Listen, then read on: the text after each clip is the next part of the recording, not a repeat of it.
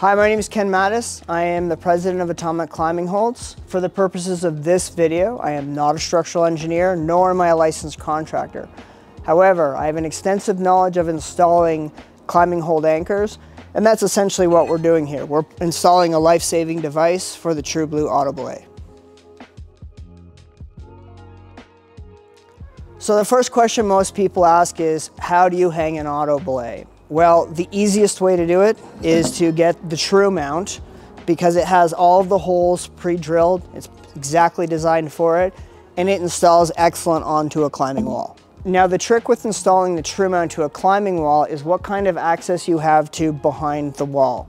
If your wall looks like this, you've already created some problems because the only way that we're going to recommend installing this Tru-Mount is by through bolting it meaning the bolt passes through this bracket, through the climbing wall, and through the structure.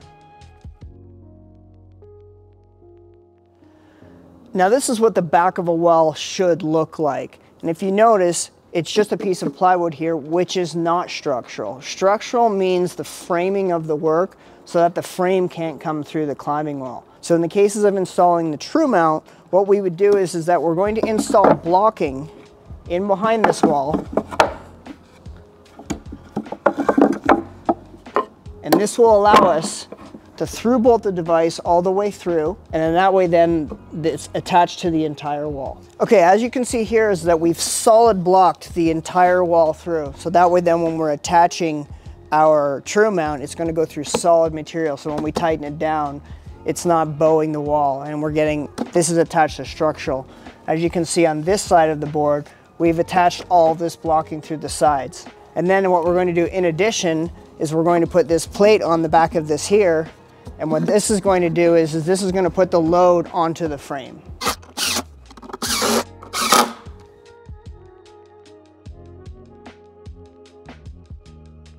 Okay, what we've got is, is that we've marked where our two center points are on our bracket. That's where we're gonna drill through, which will go straight through all of the blocking. Now, one thing that you wanna keep in mind when you're installing this, you do not wanna be at the very top of the wall at the ceiling because then you won't be able to be using the, the, the mounting points. So you wanna be at least four to six inches down from the top. Now we're gonna drill out the holes. Today we're using 3 eighths, but you can also use half inch and we'll talk a little bit about which diameter to use on different materials at a later time in this video.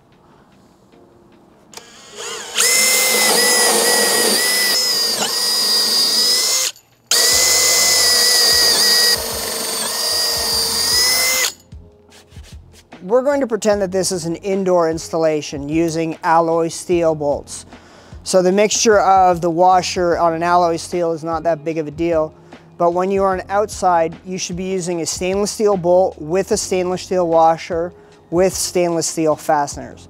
But we're pretending that this is an indoor application, so we're gonna use steel. So the 3 8 can go through here. You could also use half inch.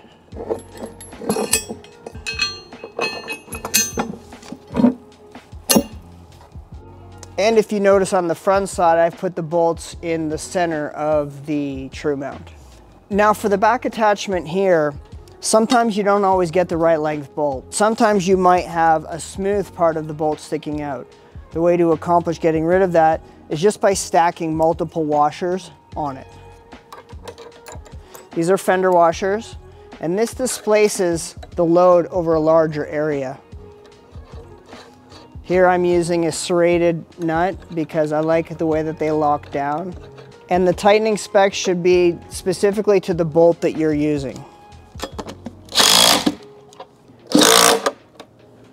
And there we have our bracket installed through bolting, meaning this bolt is traveling through the entire amount of material. This is by far the safest way to install this mount.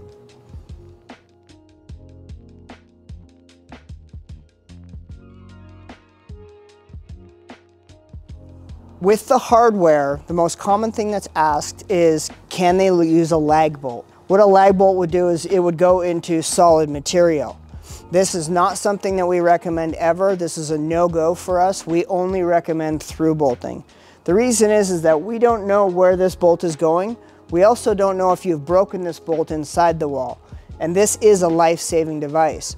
So unless you're 100% certain of your hardware saving a life, you shouldn't be using any of these. I will never recommend this bolt or this bolt. This is a Tapcon bolt. Sure, we can get to the right diameter, but the pullout strength isn't something that you should ever be using for a life-saving device. Now, if you're going into, say, solid concrete, or you're going into rock. Now, depending on the, the hardness of the rock would determine the diameter. The softer the rock, I always go with half inch, and it would be stainless steel, stainless steel, everything in an outdoor application. If it's on, say, a concrete wall, indoors you could use zinc, outdoors stainless steel. And the way that you would go into solid concrete is, is you'd use a minimum um, length of a four and a half inch bolt because this is just over a quarter inch the thickness of this plate to go embedment. And I would be recommending a half inch wedge bolt.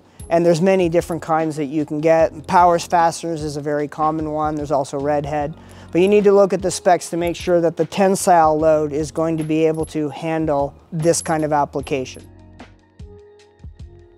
So the next thing we're going to talk about is attaching the auto belay to the bracket. Now there's multiple different kinds. There are twist locks like this one where it twists and then opens. So really it can never really get opened unintentionally. Then there's a barrel lock, and this has a barrel that screws down. Now the negative of these is that you can weld this down there really, really tight when it goes under constant load. But either way, we hang these carabiners upside down so that even if you do have a barrel lock, as there's load on this, that barrel will only get tighter. If it was in this orientation, the barrel could loosen and technically open. Okay, so now what we're gonna do is we are going to use the barrel lock as our primary, and if you look on the top here, there's four holes. This is the primary mounting point. This is the secondary mounting point, and then these are personal mounting points for maintaining the device, whether when you're taking it down and taking it up, you can clip into these. I always face my gate out so that you can visually see it, and I always use a twist lock for auto belays. They're just, they're bomber and they've lasted forever. So you take it, you have your handle on your device, and this middle hole here with the black sleeve is your primary mounting point. So this here is the primary mounting point there. Now the next step is to install the secondary mounting point. Okay, for the secondary mounting point, most people would think, oh, we'll just slap another carabiner there. This is not what you should do because it shares the load off of the primary and you're not supposed to. So this is the primary, you can see it's under full load. If we loop this one in here, if we look at it, it looks, oh, that's great. Well, no, because it's actually tilted the nozzle away from pointing straight down as one. And two, you can see this is under load and this is under load. So this is not the way to do it. So instead of using the secondary as being too tight, you can see now that the nozzle is pointing straight down, what we do is we need to have a little slack in the system. You could do a quick link to a carabiner and have it laying there. You could use chain link, but for today we're gonna use a climbing rated quick link. This is a 3 8 quick link, and I want the barrel to go down. No matter what, if it loosens and tightens, the barrel will go down, only making it tighter, not looser. And then we'll thread our sling through.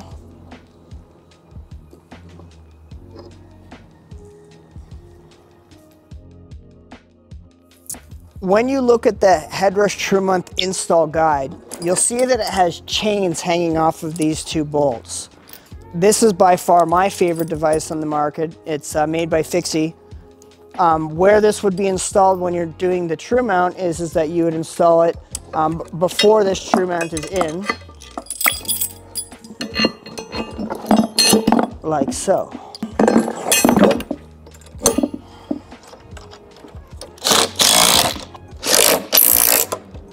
Okay, so this would be considered your top rope. So this allows you to belay manually off of the Tru-Mount this way while the Tru-Mount is in place. However, there is one thing that shows on the, on the install manual from Headrush, and we'll do it in here. If you are in a top rope situation, you should retract this webbing all the way up into the device. The reason is, is, is that you can cut this webbing very quickly by running a rope against it. So this is very bad. So when you're using the top rope, it comes behind the TruBlue, but then the TruBlue should not be hanging down the wall. It should be allowed to go all the way up to the device. All right, here we have our completely installed auto belay true mount. It's been through bolted through the wall. We're attached with a twist lock on the primary. The secondary is loose. Um, and thank you for watching this video. If you have any questions, please leave comments in the, in the comment section below or feel free to contact me personally at, at the office. Our telephone number um, you can find in our bio. And uh, see you next time.